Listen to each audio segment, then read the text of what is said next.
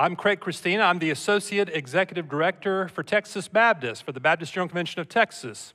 So, on behalf of Dr. David Hardage, our Executive Director, I bring you greetings and uh, just want you to know how much we love and appreciate First Baptist Waxahachie. I got to preach here a couple of years ago, right before COVID hit, and uh, it's great to see a healthy church. It's great to see the leadership of your pastor, David Ritzema. He's doing an awesome job, and we're so excited what the Lord is doing in his life personally, but also through his leadership here at the church.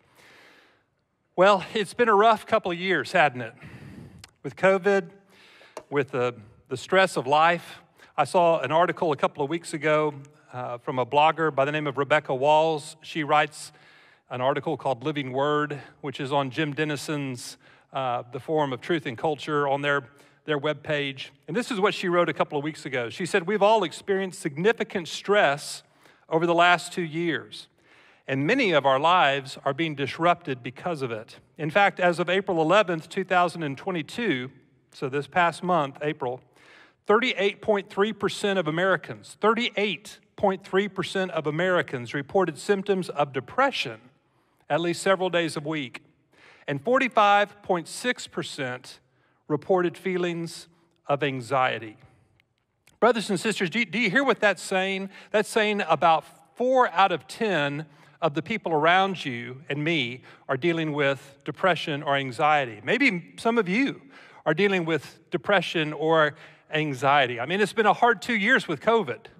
Uh, it's been challenging to live through a pandemic and the, and the tumult that's caused in our lives. It's been a challenge uh, coming out of it with uh, the economy and inflation sky high. People are worried about that, stressed out about that. There's a war taking place in Ukraine this morning, and uh, people are worried and stressed out about that. But maybe it's not just what's happening in the world or in our country, maybe it's about what's happening in your life. There's an old Spanish proverb that says, There is no home that will not eventually experience its own hush. Things happen to all of us. Challenges come, trouble comes. It's a part of being here on planet Earth. And yet, when it comes, do we freak out? Do we panic? Do we give in to anxiety and stress? Or can we experience the peace of God? If you have your Bible, open it with me to Philippians chapter 4, verses 6 and 7. Philippians 4, verses 6 and 7. I want to share with you a couple of my favorite verses from the book of Philippians. And by the way, I would just tell you that if you uh, need some power in your life spiritually, if you need some encouragement, if you need some wisdom, the book of Philippians is a great book. I, I, I, have been impacted by so many verses from Philippians. My call to ministry came from Philippians 3, verse 13.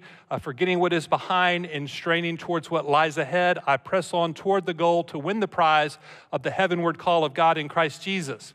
I love Philippians 1:21 for to me to live is Christ and to die is gain. Uh, Philippians 4:13, I can do all things through him, through Christ who strengthens me. On and on in the book of Philippians, uh, we have really power verses for our life.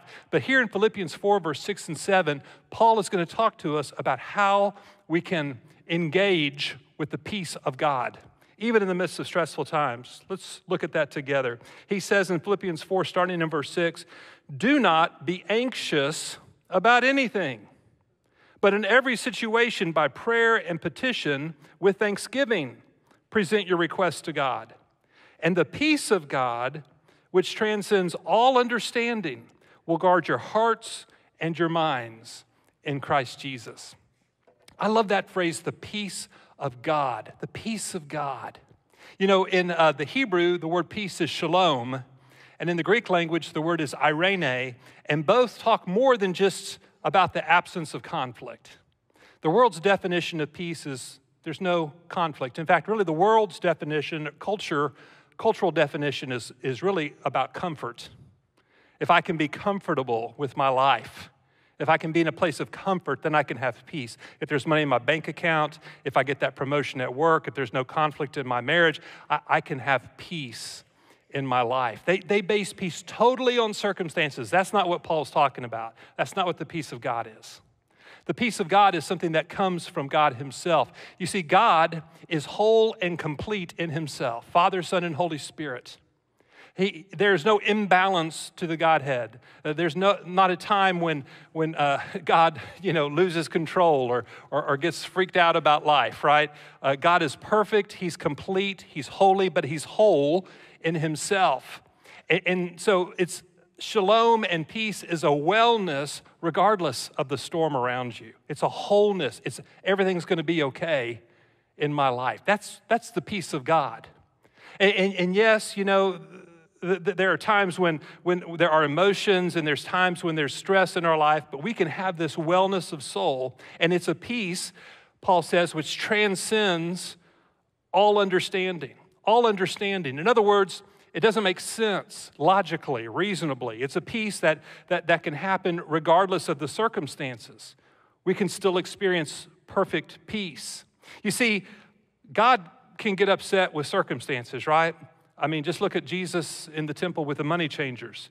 God has emotions. We're made in the image of God. We have emotions. But just because, according to Scripture, God sometimes feels anger or jealousy or, or wrath or uh, grief doesn't mean that God has conflict or imbalance within Himself. And this is a concept we've got to understand because what it means is that we can experience grief and still have peace. We might feel outraged over something, but still have peace. We might be disappointed by what happens in our lives, and yet it still be okay. We still have peace. Even though circumstances are negative, we can experience perfect peace. The world doesn't get that. They base peace on and comfort on circumstances. But, but Paul is telling us here that there is a peace God has which he can give us, which passes understanding or what makes sense to the world. And, and when we can get that kind of peace, Paul says it will do what? It will guard your hearts and your minds in Christ Jesus. It will guard. So when the Philippians heard that, the church in Philippi, uh, a peace which will guard your hearts and minds in Christ Jesus, they, they thought probably about the Roman garrison that guarded the city of Philippi that, that were encamped around Philippi, protected them from attack. This is what the peace of God does it protects our hearts, which in Greek thinking is our emotions, and our minds, which is the intellect, it's our thought life. Have you ever uh, felt an emotion and, and really let it get you carried away? Carry you away someplace where you didn't want to go? Or do you have a thought that popped in your, your mind and, and you began to dwell on that and you invited it to come in and stay and, and it got more and more negative and more and more anxious about what might happen, what could happen, what could this be? I've got a friend of mine who uh, every time he has an ache or pain, it's cancer. You know, he's convinced that, oh, it's going to be cancer. No, no, let's not go there. It might be, you know, and, and God will work that together for good somehow. He'll, he'll get you through it. But, but, you know, don't just automatically assume everything bad that happens is going to be worst case scenario. We all can give into that sometimes. So, this is a peace that guards against that, that guards our emotions so we don't let them carry us away, that guards our thinking so that we don't just think negative thoughts. It will protect us against that. Well, how does it do that? How can we experience that? How can we get that kind of peace? Brothers and sisters, there's three things Paul tells us to do here to experience the peace of God that will guard, that will protect you from giving way to anxiety, giving way to depression. And, and let me just say, I know there's, there's clinical issues with depression, and, and I think uh, everyone should visit with a physician if they feel like they're really battling uh, depression. You should get professional counseling, professional help. But we should also know about the peace of God, which can protect us and guard us from our thoughts, from our emotions getting carried away. How do we get that kind of peace? Three things. The first thing Paul says is number one, pause. Pause. Hit the pause button. He says in verse six, do not be anxious about anything. Literally, it's a command. Stop worrying. That's what Paul says here in the Greek. It's an imperative, it's a command, it's an order. Stop worrying. You know who else says that in the New Testament? Jesus in the Gospels, uh, Matthew chapter 6. Do not worry about what you're going to eat or drink or the clothes, what you're going to wear. Jesus talks about that. Don't give in to worry. Don't give in to stress. Don't give in. Just stop it. Hit the pause button. Instead, Jesus says, Seek first his kingdom and his righteousness, and all these things are going to work out. They'll be added to you as well. Why would Jesus and Paul tell us to stop worrying? Because they know our feelings can get out of control, our thoughts can get out of control. Anger is a feeling. And, you know, there are people that, that, that experience anger and, uh, you know, or sadness or, or grief or, or, you know, lust is a feeling. We don't have to let these feelings get away and, and take us away. We cannot control the existence of feelings, right? I mean, you're a human being, you're going to feel something, but we can control what we do with it. I can feel anger, but I don't have to let it carry me away into lashing out at someone. I may feel sadness or grief, but I don't have to let it carry me away into despair. I might feel lust, but I don't have to let it carry me away into flirtatiousness. We cannot control the existence of feelings, but we can control what we do with them. Same thing is true with our thoughts. This was so liberating to me when I realized I can't control a thought that pops into my mind. I can control what I do with it. I can control if I dwell on it, right?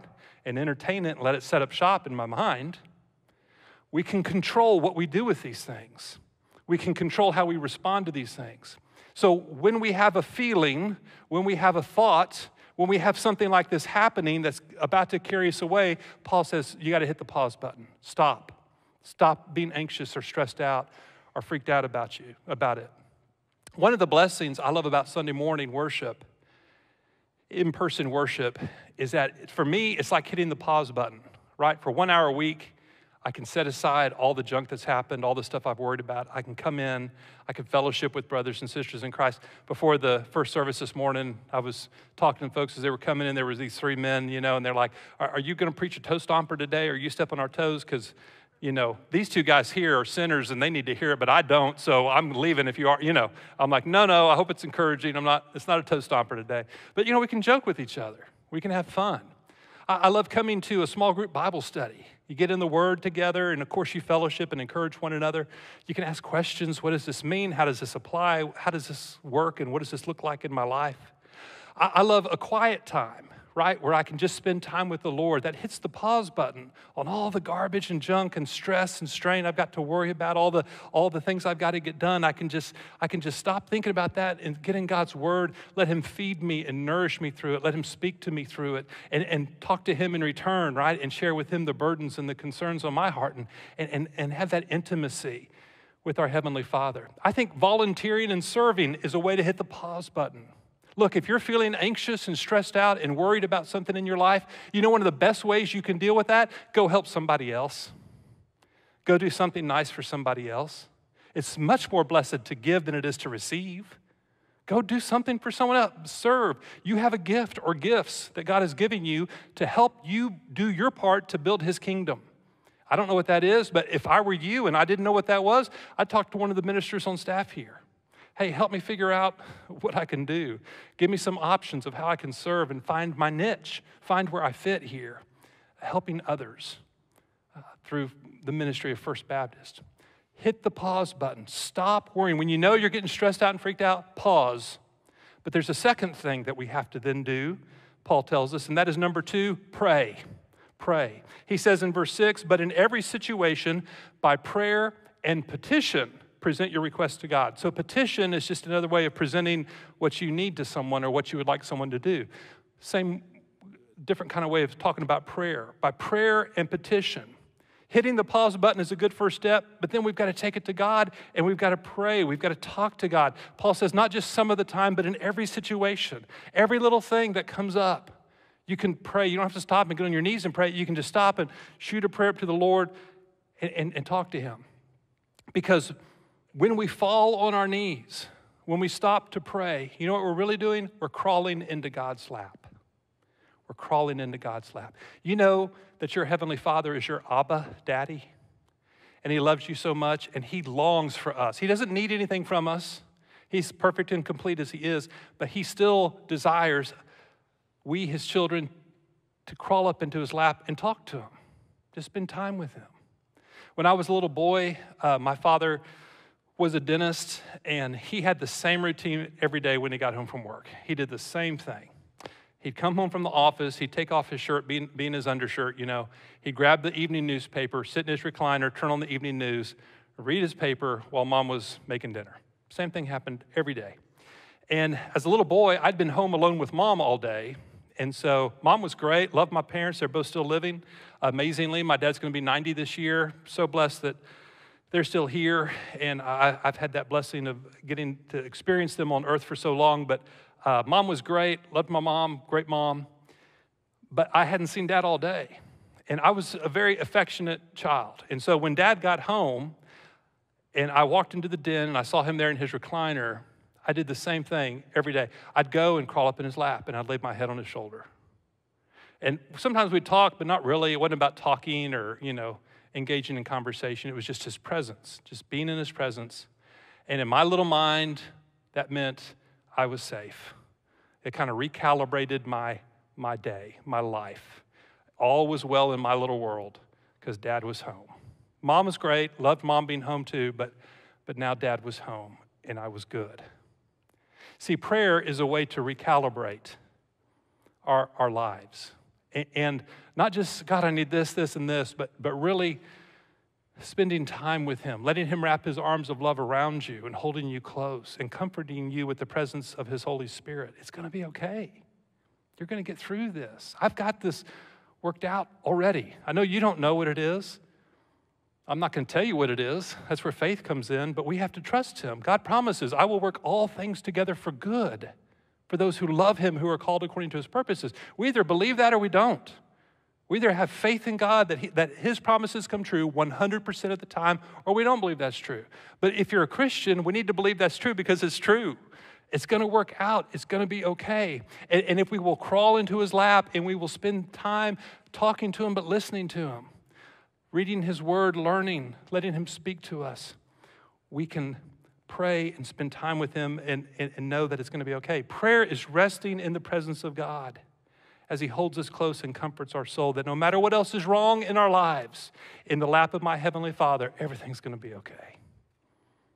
There's no, there, hear me, there is no better place in all the world to be than right in the center of God's will for your life, right in the center of His presence. And even when we try to run away from him, he, he's with us. He goes with us. He doesn't, he doesn't ever turn us loose. Pause, pray. One more thing, one more thing to have the peace of God that passes all understanding. And that is number three praise. Praise. Paul says, by prayer and petition with thanksgiving. That's praise. With thanksgiving, present your request to God. Tell God what's on your heart. Tell Him why you feel overwhelmed. Tell Him what you're worried about. But do it all in an attitude of thanksgiving, of praising Him. Why? Well, for one thing, God is worthy of our praise. If you're a believer, if you're a Christian, if you're following Jesus as Lord, He's already blessed you immeasurably more than you or I deserve or could ever expect. He has saved us from sin and destruction, eternal damnation. He, he, has rescued us from the destructive way of life we were living, and He has put a new heart in us. He has made us into a new creation. He has given us His Holy Spirit. He has given us the fruit, the one piece of fruit of His Spirit, which is love, joy, peace, patience, kindness, goodness, faithfulness, gentleness, and self control. He, he has given us direct access to Him anytime. He empowers us and equips us to do His will. He goes before us and makes a way. I mean, He has blessed us so richly in so many ways. He is worthy of our worship and our praise. But also, we need to remember that Paul was in prison when he wrote this letter, and I think he has something else. Why does Paul tell us to, to combat anxiety with praise? Well, remember, the only way to combat a negative thought is just not to think about it. It's kind of like me trying to diet. You know, if all I do is think about not eating food, guess what I'm thinking about all day? I'm thinking about eating food. I'm thinking about the food I shouldn't eat. Replace it with something positive, right? So when you have negative, which in the case of dieting, which obviously I'm not doing a great job of right now, but would be exercise, you know, or getting up, reading a book, doing something, taking a walk, doing something else that that would be rather than eating what I want to eat. But uh, when it comes to the negative thoughts, you have to replace it with a positive thought. It's not a matter of just not thinking about your problems. Think about the positive things, think about the blessings, think about what God has done in your life and how He has blessed you. Think about your blessings and praise God for past, current, and future blessings. When I think about past blessings in my life, I think about growing up in a Christian home, I know that's not everyone's story. I'm blessed that that's my story. Becoming a Christian at the age of nine years old. I think about I rebelled in high school and I rebelled against God's call on my life, but He still didn't turn me loose. And He really put so much pressure on me in my spirit that I knew I was coming to a crossroads where I had to repent and give in to Him and say yes. And it was a, sur- a surrender to Him. I thank God for that. He didn't have to do that. I thank God that I went to seminary and, uh, I was single in seminary working on my master's degree, Master of Divinity, and then I started my PhD and I met my wife Tracy, who's here with me this morning, and she has her Master of Divinity at, at Southern, from Southern Seminary as well. And uh, God has blessed us with two beautiful children, a, a, daughter and then a son, and now he's blessed us with a son-in-law. Our daughter got married this past. I think about all the past blessings, and I have to praise him. I think about my present blessings. I got to serve as a pastor for 25 years, the last 10 years in Dallas, and then the convention called me to come work with them, and I've uh, been there almost three years now. And what, a, what an incredible blessing to be a part of the work that we do together as Texas Baptists. Did you know we're on 130 college campuses around the state? People worry about the next generation. We are reaching the next generation on college campuses all over the state of Texas. I heard a story just this past week about this young man at Sam Houston State. This young man is lost, comes his freshman year, finds Jesus, becomes a leader. The next year, he leads a student who gets there, freshman, lost, doesn't know, leads him to the Lord. The next year, that guy leads him to the Lord. It's this multi generational disciple making strategy that's happening on our college campuses. And, and they're going to get out there in the world and continue to do this, continue to shine for Christ. I think about Baptist chaplaincy. That's something we don't talk about too much, but Texas Baptists have now become the fourth largest endorser of military chaplains. We have more Texas Baptist Air Force chaplains than any other denomination and our troops are in harm's way, our chaplains go with them, and we need to pray for them. We need to pray for them this morning. I think about church starting all over the state of Texas, all different kinds of uh, ethnicities and, multi ethnic churches that we're starting. I think about uh, the partnership we're about to announce with the International Mission Board. They want us to, they want Texas Baptists to adopt South Asia and uh, do the missionary adoption program there, which I'd love to tell you about sometime. Or North American Mission Board wants to set up a disaster response center in Laredo in partnership with us and our Texas Baptist River Ministry missionaries. We have 44 river ministry missionaries working both sides of the border with Mexico and uh, helping to meet needs in what is truly a humanitarian crisis. I could go on and on about praising God for the blessings of the present, and I think about the future you know, we, we have people that go home and, they're with us for a while on this journey on earth and their loved ones, and, and, we have to say goodbye. But if they know the Lord, we're going to be with them again one day. We're going to be together at, at, at, the foot of the throne of Jesus, praising Him for all eternity and, and, and working for Him and doing so much more. I, I don't know what's going on in your life, but I want you to know it ends in victory. If you're a believer, it ends well for you. It's going to be okay. And, and God's got a great plan for you. And, and you're going to get to be in paradise forever with His people praising Him. Brothers and sisters, we've got to praise God. Thank Him for all the good. Don't think about the negative. Don't focus on the negative. That's so easy to do. It, we could do that all day. We've got to stop, pause, pray, and praise Him for the great things he has done, is doing, and are to come. Pro baseball player R.A. Dickey was the 2012 National League Cy Young Award winner, highest award in professional baseball for pitchers. But Dickey's career almost ended before it started. In 1996, he came to play for the Texas Rangers. He was offered a $810,000 contract, which was is a lot of money now, but it was a lot of money in 1996. And uh, he, he went to spring training and had to go through a routine physical. And in that physical, they took x rays of his body and they noticed a ligament missing in his pitching arm, his elbow. So his agent showed up, called him off the field, and said, Hey, Doug Melvin, the, the Rangers general manager, needs to talk to you. They went and stepped into Melvin's office. And Dickey had just been praising God. He was a, he's a Christian. He was thanking God on the field for the blessing of, of this wonderful career. But he said that he goes into Melvin's office, and Melvin flatly said, We're going to retract our offer. We think there's something wrong with your elbow. In his book, Wherever I Wind Up, R.A. Dickey writes, I try to take in those words for a second or two.